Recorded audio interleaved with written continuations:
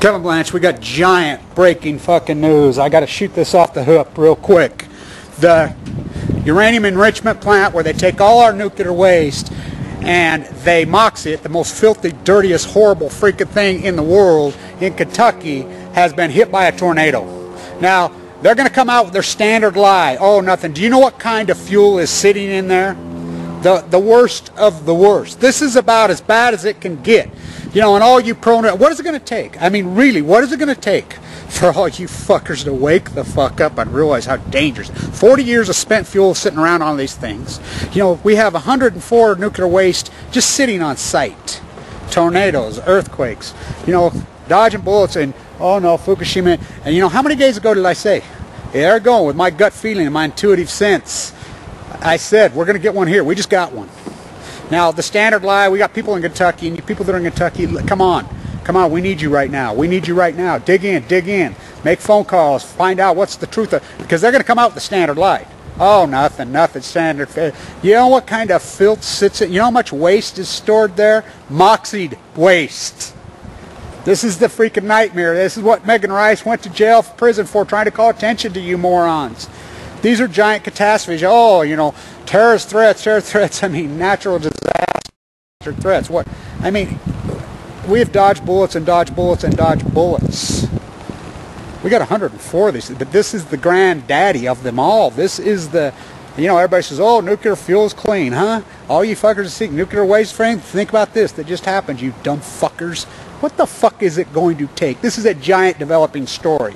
We are the media. Don't don't let the fucking mainstream media develop this story. We are the media. We develop this story right now in the truth. In the truth. We tell the truth, just like I told the truth about Fukushima. You guys in Kentucky and Tennessee, get on the phone. Get digging around. Dig in on this story. Get over there with your cameras. Whatever you can do. You know, I mean, get over there. Get, I mean, dig in. We need to develop. This is a major, gigantic developing story right now. Gigantic. You know, and they're going to lie their ass off just like they did Fukushima. You know, and all you pro nukers have been writing in print. Oh boy, oh boy. You know, keep going, keep going, keep freaking downplaying these stories. This is a gi- gigantic, gigantic developing story. Wow. Stay on tuned. The nuclear power plant does not stand alone. It is underlaid by a massive industrial infrastructure. You have to mine millions of tons of uranium, fossil fuel. You just watch those trucks. They're as big as this, as this church, a truck. And then you've got to mill it, crush it into little fine particles, that more fossil fuel. And then the uranium is enriched in America and at Paducah. They use two 1,500 megawatt coal-fired plants to enrich the uranium. Oh, but it doesn't produce any CO2, right? Well, people should be sued. I mean, there must be a law that people can't lie. This is so important. And it's a medical problem. And we sit back, you know, waiting in our, waiting, in our consulting rooms for the patients to present with their lumps and their indigestion or their hematemesis or their hemoptysis or the pneumothorax and it's too late. And we don't get out and say, okay, I want to educate you about medicine. I mean, there are lots of things we could do, like why you shouldn't hand your antibiotics over the fence to Mrs. Brown, because a year ago you had the same symptoms as Mrs. Brown, and why don't you have the rest of my antibiotics? I mean, people, people don't know anything about viruses and bacteria, and that's because we haven't taught them. But we must teach them about this too. The other thing is that, the, that at the enrichment plant at Paducah, Kentucky, the uranium is converted to a gas called uranium hexafluoride, which is very corrosive and very hot. And there are hundreds of miles of pipes containing this gas that is filtered through a cascade of filters. On one side stays uranium-235, which is the one that is the fissionable one, and the other side, actually, it's the reverse, says U-238, which is non-fissionable, and this is 235.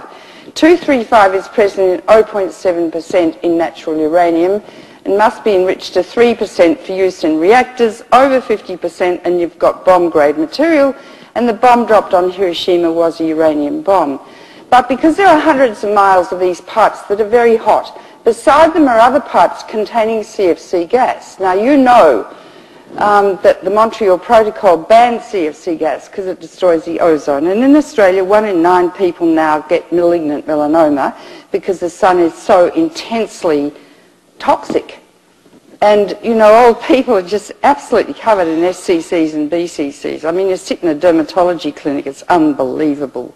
That's from the sun. And we are very racist in Australia.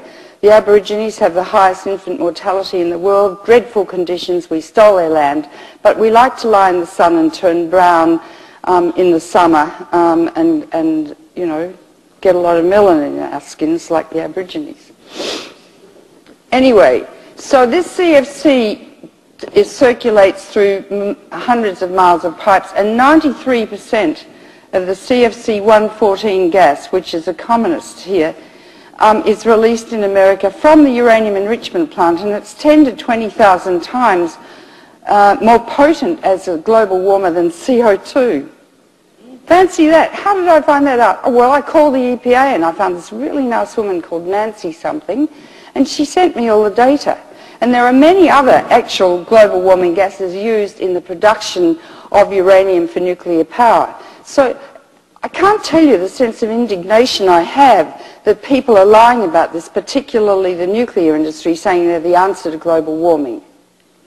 And I would like all of you to take this into your hearts and souls too, and your bones, and get out there and teach your friends, and if they don't listen, hit them on the head.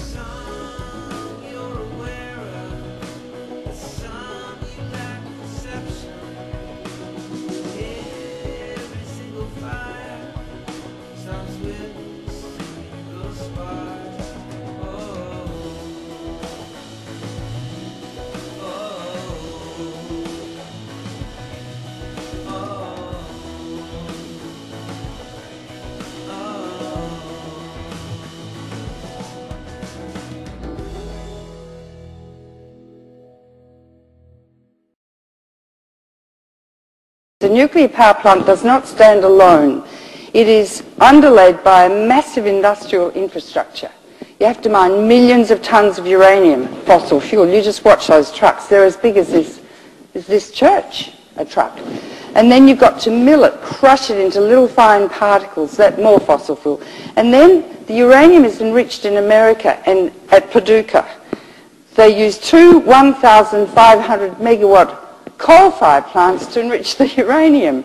Oh, but it doesn't produce any CO2, right?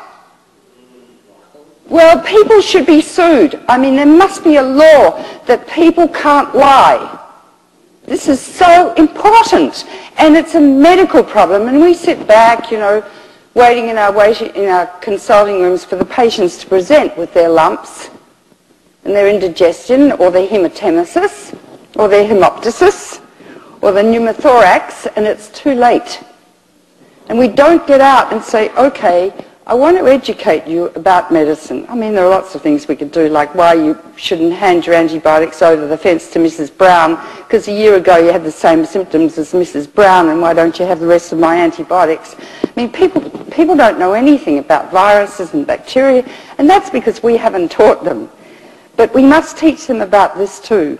The other thing is that, the, that at the enrichment plant at Paducah, Kentucky, the uranium is converted to a gas called uranium hexafluoride, which is very corrosive and very hot.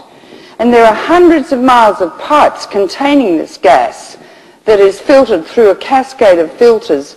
On one side stays uranium-235, which is the one that is the fissionable one, and the other side, actually, it's the reverse says U238, which is non-fissionable, and this is 235. 235 is present in 0.7% in natural uranium and must be enriched to 3% for use in reactors, over 50% and you've got bomb-grade material, and the bomb dropped on Hiroshima was a uranium bomb.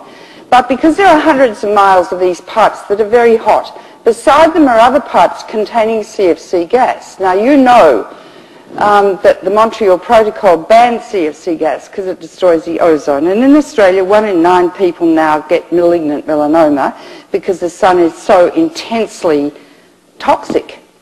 And, you know, old people are just absolutely covered in SCCs and BCCs. I mean, you sit in a dermatology clinic, it's unbelievable. That's from the sun. And we are very racist in Australia. The Aborigines have the highest infant mortality in the world, dreadful conditions, we stole their land, but we like to lie in the sun and turn brown um, in the summer um, and, and, you know, get a lot of melanin in our skins like the Aborigines. Anyway, so this CFC circulates through hundreds of miles of pipes and 93% of the CFC 114 gas, which is a commonest here, um, is released in America from the uranium enrichment plant, and it's 10 to 20,000 times uh, more potent as a global warmer than CO2. Fancy that. How did I find that out? Oh, well, I called the EPA and I found this really nice woman called Nancy something, and she sent me all the data. And there are many other actual global warming gases used in the production of uranium for nuclear power. So I can't tell you the sense of indignation I have that people are lying about this, particularly the nuclear industry, saying they're the answer to global warming. And I would like all of you to take this into your hearts and souls too, and your bones, and get out there and teach your friends. And if they don't listen, hit them on the head.